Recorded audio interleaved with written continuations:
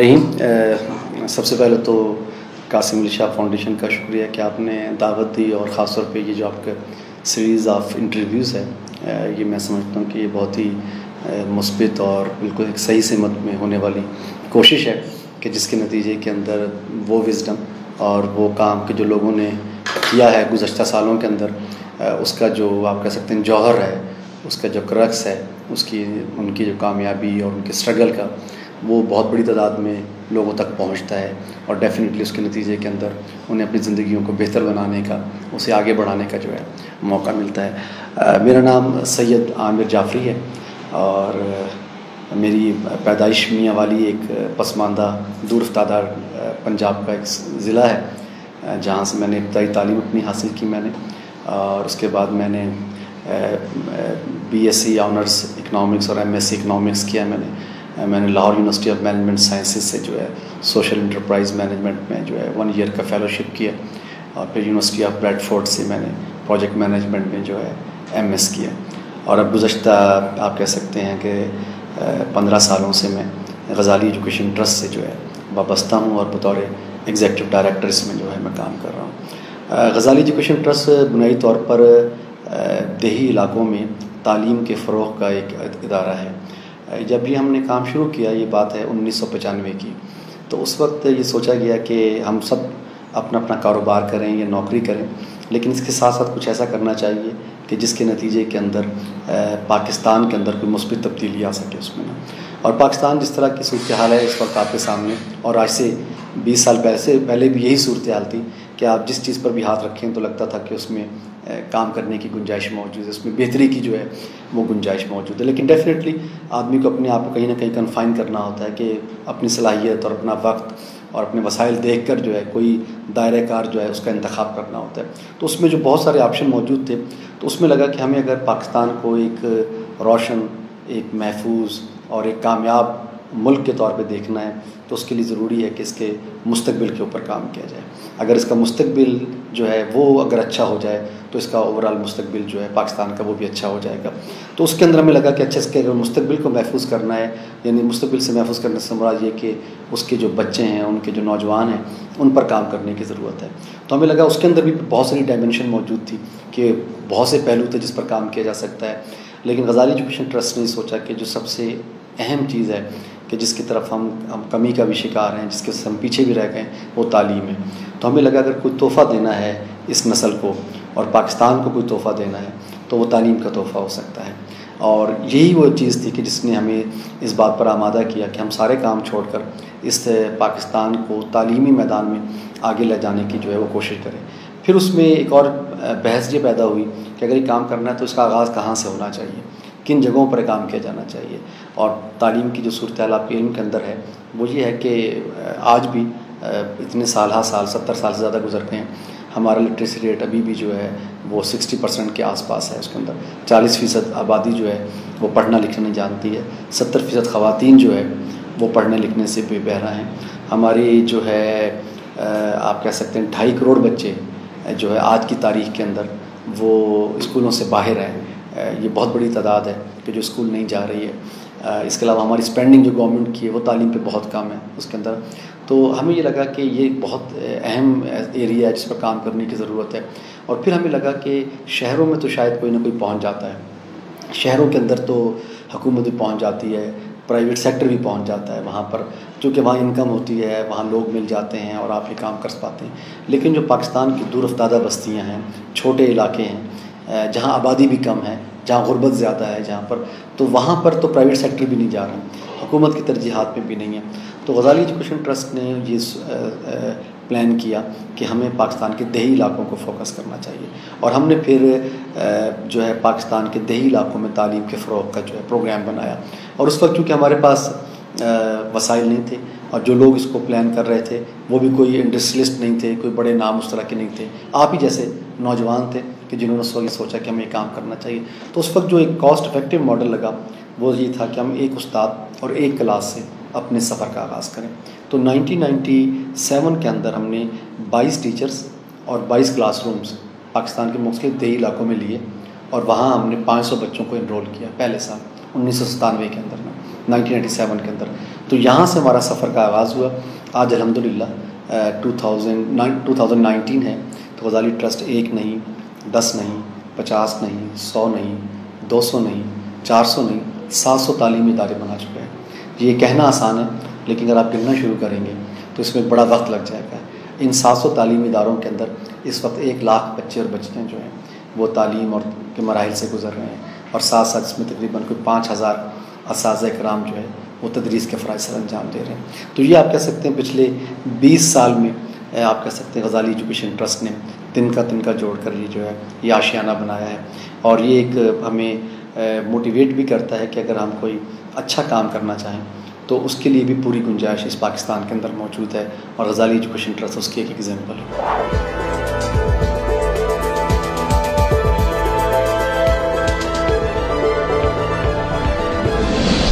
بڑا، بڑی اہم بات ہے۔ ایک تو یہ بات بالکل درست ہے کہ یہ کوئی ایک دن کی کہانی نہیں ہے، بلکہ بیس سال، دو اشرے جو ہے اس جد و جہد کے اندر جو گزرے ہیں۔ آج تو ہمیں یہ ایک بڑی، ایک روزی پکچر نظر آتی ہے کہ سیون ہنڈریڈ اسکولس ہیں، ایک لاکھ اسٹوڈنٹس ہیں، فائیو تھاؤزینڈ ٹیچرز ہیں اور ایک بہت بڑا نیٹ ورک ہے جو پورے پاکستان کے اندر تعلیم کے فروغ کے لیے جو ہے کام کر رہا ہے۔ لیکن ڈیفینیٹلی یہاں تک پہنچنے کے جو مراحل ہیں اس میں بہت سی نشیب و فراز جو ہیں وہ اس کے اندر آئے ہیں۔ دوسری بات ہے کہ غزالی ٹرسٹ نے جب یہ کام شروع کیا، جس طرح میں نے ابھی شروع میں بھی بتایا آپ کو، ایک ہمارے پاس کوئی آپ نہیں کہہ سکتے کہ کوئی ہمارے سامنے کوئی ماڈل موجود تھا اور یا کوئی ماڈل ہم اپنے سامنے رکھ لیا اور اس کو فالو کرنا شروع کر دیا اور اس کو لے کے چلے ہوں۔ بلکہ آپ کہہ سکتے ہیں یہ جو کچھ ہم نے کیا ہے، یہ ہٹ اینڈ ٹرائل بیسس کے اوپر کیا ہے۔ چونکہ سب ینگ لوگ تھے اور ان کے اندر ایک پیشن موجود تھا، ٹھیک ہے، اس کام کو کرنے کا۔ اور میں سمجھتا ہوں کہ بڑی بنیادی چیز جو ہے، کسی بھی کام کو آگے لے جانے کے لیے وہ پیشن ہوتا ہے، وہ جذبہ ہوتا ہے۔ اس کے اندر وہ جنون ہوتا ہے، وہ خپت ہوتا ہے، جو آپ کو اگلی منزلوں کی طرف جو ہے وہ لے کے جاتا ہے۔ تو میں سمجھتا ہوں کہ جو ابتدائی لوگوں کی ٹیم تھی، اس کے اندر یہ چیز موجود تھی کہ وہ اپنے تمام کاموں کے ساتھ ساتھ، وہ سب اس کے ساتھ والنٹیئر تھے اس کے اندر، لیکن وہ اپنی کاروبار کے ساتھ، اپنی نوکریوں کے ساتھ غزالی ایجوکیشن ٹرسٹ کو وقت دیتے تھے۔ اس کے لیے دور دراز دیہاتوں پہ اپنی گاڑی، اپنے پیٹرول ڈلوا کے سفر کرتے تھے۔ ان کا یہ جذبہ تھا کہ جس کی وجہ سے یہ کام جو ہے، اپنی جو ہے بنیادوں پہ جو ہے وہ کھڑا ہو گیا اس کے اندر۔ اور ڈیفینیٹلی یہ آسان کام نہیں تھا۔ اس کے لیے ہم نے، آپ کہہ سکتے ہیں کہ کوشش کی ہے کہ جس طرح میں نے کہا، یہ ہٹ اینڈ ٹرائل بیسس پہ ہم نے بہت سی غلطیاں بھی کی۔ ان غلطیوں سے ہم نے سیکھا بھی صحیح اور پھر اس کو بہتر بھی بنایا۔ اس لیے آپ یہ دیکھتے ہیں کہ ہم یہاں تک جو ہے وہ پہنچ گئے اس کے اندر۔ جہاں تک اس کے ڈیفینیٹلی یہ پروجیکٹ ایک مشکل پروجیکٹ ہے۔ عمومی طور پہ تعلیم کے جو بھی منصوبے ہیں وہ آسان نہیں ہوتے چلانے۔ ویسے ریلیف ایکٹیویٹیز بڑی آدمی کو اچھی لگتی ہیں اور وہ بڑا لوگ اس میں بہت زیادہ انوالو ہوتے ہیں۔ دسترخوان آپ دیکھتے ہیں، جگہ جگہ کھلے ہوئے ہیں۔ فوڈ ڈسٹریبیوشن ہو رہی ہے، اس کے اندر بیواؤں کی سرپرستی ہو رہی ہے۔ یتامہ کے اوپر جو ہے خرچ ہو رہا ہے۔ جہیز کے کام ہو رہے ہیں اس کے اندر۔ بلینکٹ تقسیم ہو رہے ہیں، گھی کے ڈبے تقسیم ہو رہے ہیں، آٹے کے تھیلے تقسیم ہو رہے ہیں۔ یہ کام بہت ہی اعلیٰ کام ہے۔ اور معاشرے کے لیے جو ہے فائدہ مند چیزیں ہیں۔ لیکن یہ سسٹینیبل کام نہیں ہے سارے کے سارے، ٹھیک ہے؟ سسٹینیبل کام جو ہے سسٹینیبل جو آپ کہہ سکتے ہیں، وہ ایجوکیشن ہے۔ لیکن اس کی طرف ابھی بھی ہم کہتے ہیں کہ پاکستان میں چیریٹی بہت زیادہ ہوتی ہے۔ اور یہ بالکل درست ہے۔ ابھی ریسنٹلی عمران خان صاحب نے اپنی اسپیچ کے اندر بالکل بجا کہا کہ پاکستانی قوم چیریٹی میں بہت آگے ہے۔ دنیا کی جو پانچ بڑی قومیں ہیں، پاکستان اس میں شمار کیا جاتا ہے۔ میرے خیال دو سو چالیس ارب روپے کی چیریٹی ہر سال پاکستان کے اندر ہوتی ہے لیکن سر، اس میں جو ایک آپ کہہ سکتے ہیں، سوچنے والی بات ہے وہ یہ کہ اس دو سو چالیس ارب چیریٹی کا بہت کم حصہ تعلیم پہ خرچ ہوتا ہے۔ تعلیم پہ بہت کم حصہ خرچ ہوتا ہے۔ باقی چیزوں پہ، مساجد کی تعمیر کے اوپر اور دیگر ویلفیئر کے پروجیکٹ کے اوپر بہت ہوتا ہے۔ لیکن ضرور اس بات کی کہ جو چیز سب سے اہم ہے، جو تعلیم جو سب سے اہم ہے، اس کی طرف ہماری توجہ ابھی بھی کم ہے۔ اچھا اس کی وجہ یہ ہوتی ہے کہ جو ایجوکیشن خرچ ہے، وہ یہ ہے کہ آپ کو ہر مہینے اس میں ڈالنا پڑتا ہے۔ ہر مہینے اس کے اندر آپ کو چیزوں کو لے کے چلنا پڑتا ہے۔ جبکہ آپ جو عمومی طور پر دیگر چیریٹیز جو کا کام ہے، وہ جلدی جو ہے، آپ کہہ سکتے ہیں اس کو فارغ کر دیتے تو میں سمجھتا ہوں کہ غزالی ایجوکیشن ٹرسٹ نے ایک تو یہ کیا کہ ہم نے اپنی ایجوکیشن انسٹیٹیوشنس کے اندر ایک بڑی نامنل سی فیس بھی رکھی ہوئی ہے۔ تقریباً کوئی تین سو روپے ایوریج فیس جو ہے وہ ہم اسٹوڈنٹ سے لیتے ہیں۔ پرپز صرف یہ ہوتا ہے کہ لوگ فری چیز کو فار گرانٹیڈ سمجھتے ہیں پاکستان میں۔ ہم چاہتے ہیں کہ لوگ تعلیم کو تھوڑی سی ویلیو دیں اور وہاں ہم بتانا چاہتے ہیں والدین کو کہ آپ سگریٹ چھوڑ دیجیے، لیکن تعلیم پہ جو ہے وہ خرچ کریں۔ تو یہ ہمارا ہے۔ اس کے علاوہ جو گیپ آ جاتا ہے، اس کو پھر ہم چیریٹی کے پروگرامس کے ذریعے سے جو ہے وہ ہم کر کور کرتے ہیں۔ اب ہمارے ساتھ ریسنٹ ایئرس کے اندر جو ہے گورنمنٹ بھی ہمارے ساتھ بہت سے پروجیکٹس پہ ہم جو ہے انوالو ہو چکی ہے۔ تو بہت سے اس طرح کے وسائل ہیں کہ جو ہم نے ایجوکیشن کی طرف جو ہے ڈائیورٹ کیے ہیں پچھلے سالوں کے اندر۔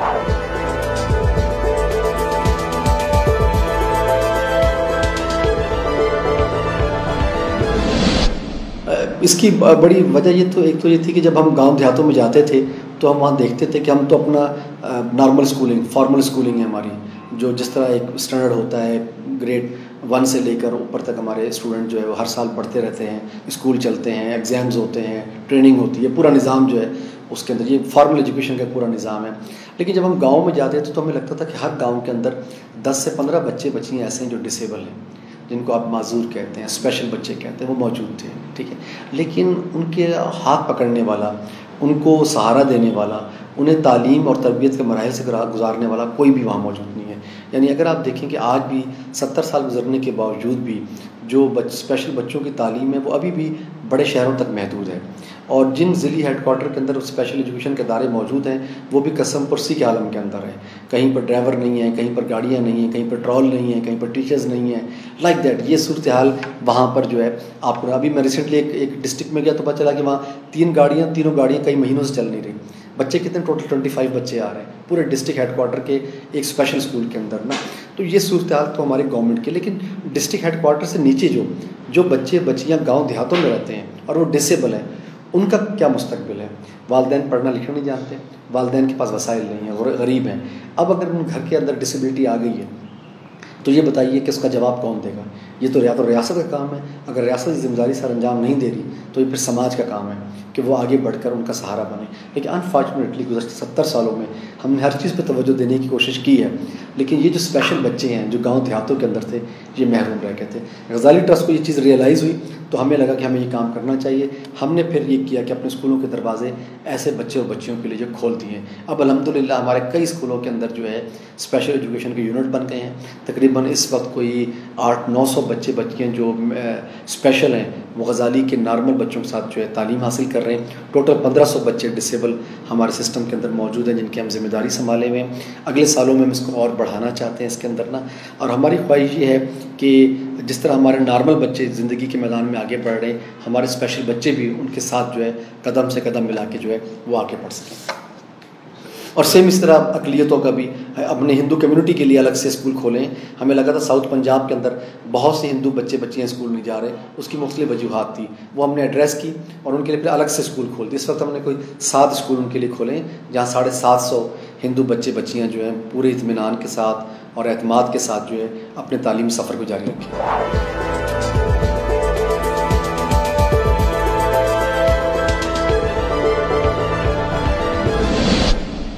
اس میں ایک تو جو چیز ہے جو میں جب یونیورسٹی کے زمانے میں پڑھ رہا تھا تو اس وقت میں یہ یہ ریئلائزیشن ہوئی تھی کہ میں نے جانا اسی فیلڈ کے اندر ہے، جس کا تعلق جو ہے بچوں کے ساتھ ہے، جس کا تعلق جو ہے، ہمارے پاکستان کے مستقبل کے ساتھ ہے۔ اور خدمت کے میدانوں سے متعلق ہے۔ تو یہ ایک میری یونیورسٹیز کے زمانے میں ہی یہ بات جو ہے یہ طے ہوئی تھی کہ میں نے اس فیلڈ کی طرف جانا ہے اس کے اندر، نمبر ایک۔ نمبر دو یہ کہ جب میں باہر پڑھنے بھی گیا تو میں پہلے دن ہی سے احساس ساتھ گیا تھا کہ میں جو پڑھنے جا رہا ہوں تو میں یہ پڑھ کے فوری واپس آنا ہے۔ اگر جب میں پڑھنے جا رہا تھا لوگ کہا کرتے تھے کہ بھائی جو لوگ گئے یا واپس نہیں آتے اکثر و بیشتر، نا۔ اس وہیں جا کے سیٹل ہو جائیں گے۔ اور میں جب میں پڑھائی فارغ ہوئے تھے تو میرے پاس بہت زیادہ اپرچونیٹی موجود تھی اور جس طرح کا میں مزاجن فرد تھا، مجھے وہاں ہر ایک ہاتھوں میں ہاتھ ہاتھوں ہاتھ لینے کے لیے جو ہے وہاں پر تیار تھا۔ لیکن میں نے جو وعدہ کیا تھا اپنے ساتھ اور اللہ تعالیٰ کے ساتھ کہ بھائی، جیسے ہی میں ڈگری لوں گا، میں فوری طور پر جو ہے میں واپس پاکستان آؤں گا۔ اور اس کی ایک بڑی اور وجہ بھی ہے، وہ وجہ یہ کہ مجھے لگتا تھا کہ پاکستان جو ہے فل آف اپرچونیٹی ہے۔ اس میں بے پناہ امکانات ہیں اس کے اندر، نا، بے پناہ امکانات ہیں۔ چونکہ جہاں گیپ ہے، جہاں پر کمی ہے وہیں پر کام کرنے کی جو ہے وہ ضرورت ہوتی ہے اس کے اندر۔ اگر آپ ڈیولپ کنٹری میں جا کے کام کریں تو وہاں تو آپ ایک مشین کا پرزہ بن کے کہیں لگ جائیں گے اور وہاں آپ وہ کام کرتے رہیں گے۔ وہاں سب چیزیں بڑی بڑی ہیں۔ آپ نے تو فٹ ہو کے اپنا کام شروع کر دینا ہے۔ لیکن پاکستان میں بہت سا کام ایسا ہے جس کو آپ نے خود کرنا ہے، جس کو آپ نے بنانا ہے اس کے اندر نا۔ تو مجھے لگا کہ یہ تو زیادہ امکانات ہیں۔ چاہے وہ ڈیولپمنٹ سیکٹر میں کام کرنے کے ہوں یا بزنس یا کارپوریٹ سیکٹر میں کام کرنے کے ہوں بزنس سیکٹر میں کام کرنے کے ہوں چونکہ پاکستان میں بہت سی چیزیں بھی ڈیولپ ہونا باقی ہیں، بہت سا کام ابھی ہونا باقی ہے، تو اس میں امکانات جو ہے وہ لامحدود ہیں اس کے اندر۔ تو آپ، بلکہ آپ، اگر آپ کو یاد ہو، اگر آپ، جو ہمارے چنوٹی بزنس ماڈل ہے یا ان کو دیکھیں، تو وہاں بھی آپ کو یہ چیز بہت ہی یعنی شدت سے نظر آئے گی کہ وہاں بھی بچے جو ان کے پڑھنے کے لیے جاتے ہیں تو یہ طے شدہ ہوتا ہے کہ وہ بچے بس تعلیم حاصل کریں گے اور پھر واپس فوری آئیں گے اور اپنا بزنس سنبھالیں گے اور اس کو آگے آگے جو ہے ایکسپینڈ کریں گے اس کے اندر۔ اس کی وجہ یہ ہے کہ کسی بھی ڈیولپ کنٹری کی بنسبت جو ہے پاکستان کے اندر کاروبار کے بڑھانے کے امکانات جو ہے جاتا ہے اور اسی طرح ڈیولپمنٹ سیکٹر کے اندر بھی یہ ہے۔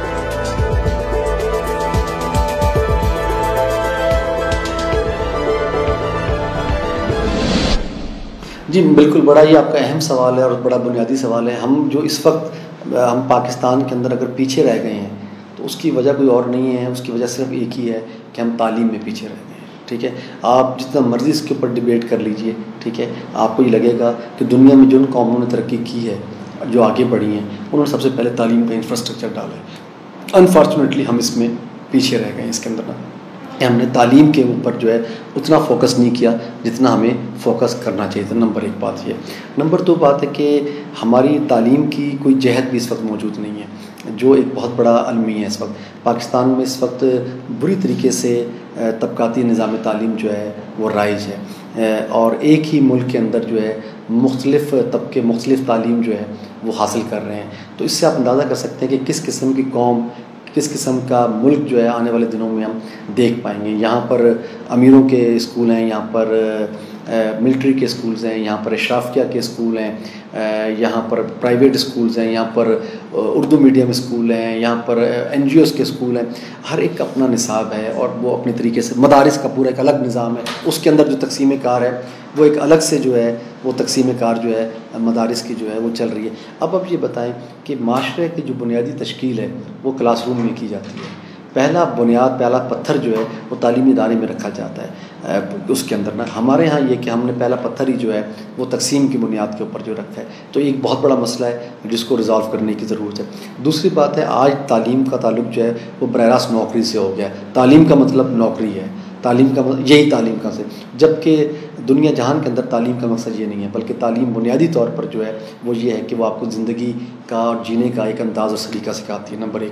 نمبر دو، ہمارے کانٹیکسٹ کے اندر، ہماری تہذیبی روایت کے اندر جو ہے کوئی تعلیم اگر وہ تربیت کے بغیر ہے، تو ہم اسے کہتے ہیں وہ جہالت میں اضافے کا باعث ہی بنتی ہے۔ غزالی ایجوکیشن ٹرسٹ بھی اسی لیے باقی اداروں سے ممتاز اور ممیز اس لیے ہوتا ہے کہ غزالی ٹرسٹ جو ہے، وہ خالی صرف تعلیم کا دارہ نہیں ہے، بلکہ یہ تعلیم و تربیت کا دارہ ہے۔ اور ہماری روایت کے اندر کبھی بھی تعلیم کو اکیلا نہیں بولا جاتا۔ ہمیشہ یہ بولا جاتا ہے کہ تعلیم و تربیت کا کیا کیا بندوبست ہے اس کے اندر۔ چونکہ جو تربیت نہیں کر سکتی تعلیم، جو آپ کو اچھا اخلاقی انسان نہیں بنا سکتی جو آپ کو معاشرے کے لیے خیر اور نفع کا باعث نہیں بنا سکتی، اس تعلیم کا کوئی جو ہے وہ فائدہ نہیں ہے۔ تو میں سمجھتا ہوں کہ بڑی ضروری اس بات کی ہے کہ پاکستان کے اندر اس تعلیم کی جو آپ نے بڑی اہم بات کی، کہ اس کو دوبارہ سے ڈیفائن کیا جائے ری ڈیفائن کیا جائے اس کے اندر کہ ہمارا تعلیم سے کیا مقصد کیا ہے۔ ہم کس طرح کا انسان تشکیل دینا چاہتے ہیں، ہم کس طرح کا پاکستان مستقبل میں دیکھنا چاہتے ہیں۔ ابھی تک ہم اس پر بات نہیں کرتے۔ اس لیے آپ دیکھتے ہیں کہ ہر طرح کے نظام تعلیم جو ہے پاکستان کے اندر رائج ہے۔ اس لیے کہ اس سوال سے ہم نے پہلو تہی کی ہوئی ہے کہ ہم کس طرح کی تعلیم دینا چاہتے ہیں اور اس تعلیم کے نتیجے میں کس طرح کا انسان جو ہے اس کو ہم پروان چڑھانا چاہتے ہیں۔ تو جب تک آپ اس سوال کو جواب جواب نہیں دیں گے تو آپ آگے نہیں بڑھ سکتے۔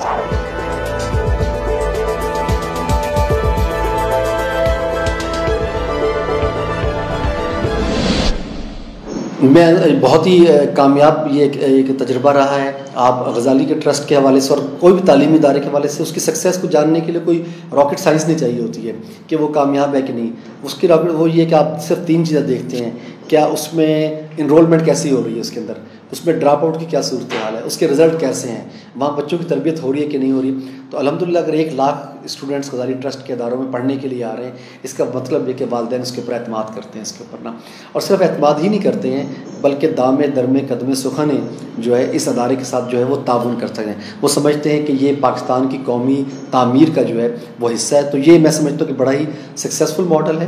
اور ہم خود بڑے انکریج ہوئے ہیں کہ ہمیں لوگوں نے سپورٹ کیا، ہم اگر یہاں کھڑے ہوئے ہیں اور یہ ادارہ لے کے چل رہے ہیں، اس کا مطلب یہ کہ پاکستان میں خیر کی قوتیں اور جو ہے، جو مثبت قوتیں ہیں، وہ ابھی بھی بہت ہی آپ کہہ سکتے ہیں کہ زندہ ہیں، توانا ہیں۔